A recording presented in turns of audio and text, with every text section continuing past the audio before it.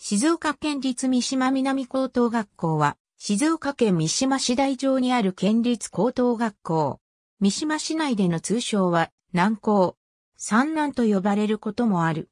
開かれた学校をコンセプトとして掲げている。例えば、高地にフェンスを設けず、校舎も土足のまま入ることができる、一足制を導入し、スロープや手すり、自動ドア、エレベーター等を完備している。県下で初めて演技実習室が導入された学校としても有名である。制服は森花江による紺を基調としたブレザーである。もともと三島市南二日町にあったが、2001年4月に単位制普通高校として三島市大上に校舎が移転された。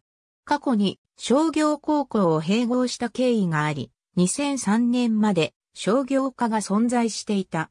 単位制普通科高等学校として、校訓、自覚のもと、文部芸の定律を目標として、地域の期待に応えるものとしている。育てたい、生徒像として、以下の3つを掲げている。毎年5月下旬から6月上旬に開催され、箱霊祭と呼ばれる。